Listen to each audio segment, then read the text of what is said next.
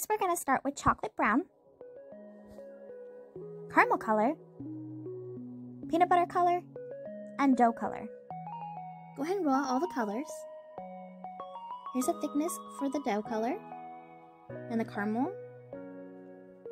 So first take the dough color and you're going to cut out a rectangle shape.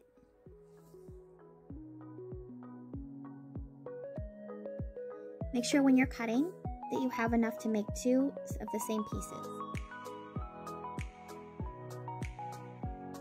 Now you're going to cut out another one the same size. You can even them out at this point.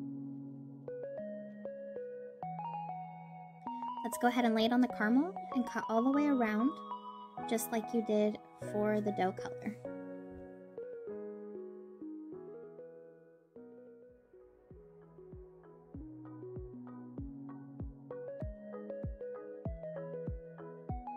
The thickness should be about this size. Now go ahead and lay it down and cut it out again, the same way you did the first time with the dough. And then you're gonna do the caramel color just the same way as the first time. We're gonna go ahead and smooth out the edges. This step is optional, but I like to do this. Do the same with the chocolate and cut it out on all four corners and place the chocolate on the top just as you would fondant.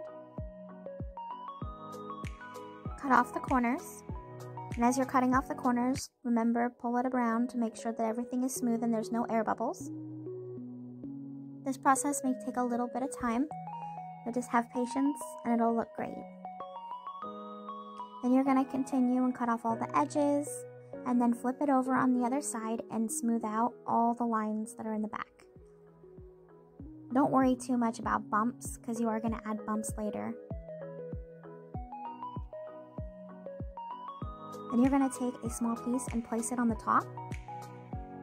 And then after you put on the top, make sure you press it down so that it'll stay nice when it's baking. And then we're going to smooth out the sides to make a more blended seam. Go all the way around at the bottom, and the back, and then smooth it out with your fingers. I like to use my fingers because it does, I'm not sure if it's with the heat, but I think it's because of the heat, it helps. Continue smoothing out the edges and then the sides. You're going to go all the way around and smooth the grooves on the sides. Then you're going to use your dotting tool and you're going to make little indents all the way down. And then you're going to do it on the other side as well.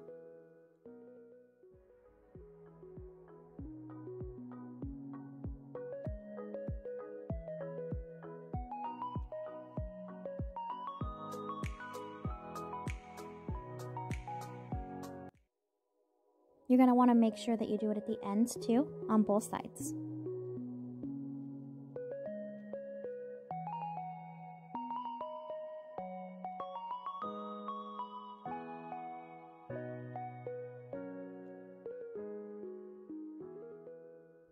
And then you're going to go on the other side and do a little bit deeper indents and then also all the way on the top.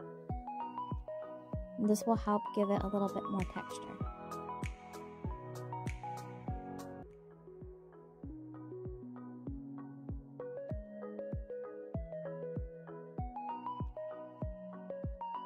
Now continue to do that all the way around the chocolate piece. And using your fingers to smooth out any harsh lines. You want them to look like indents, not cuts.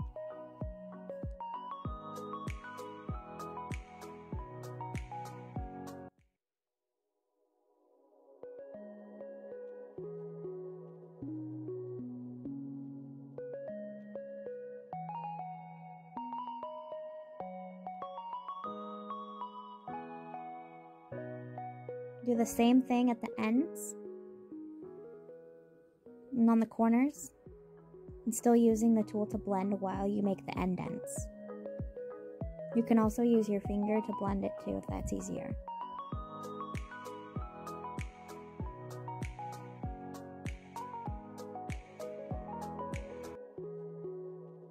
Then you're going to use a sharper tool And you're gonna do a chain-like pattern back and forth.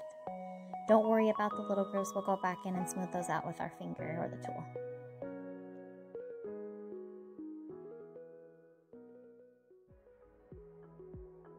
Then cut off the desired amount that you want to cut off. I'm just going to cut off a little corner here.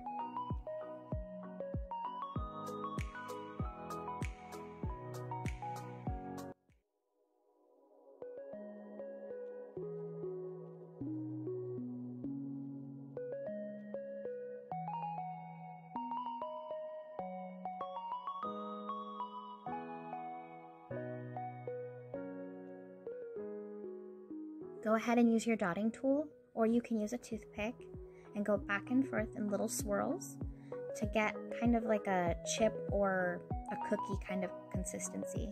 I did go ahead and finish the rest of the caramel off camera because it did take me quite a few hours to get this. But you will just basically want to take your dotting tool and make little indents inside. And then you're going to want to take the chocolate and make little indents going downward and then squeeze both sides of the Snicker bars and it'll come together better. And that's it. Bye.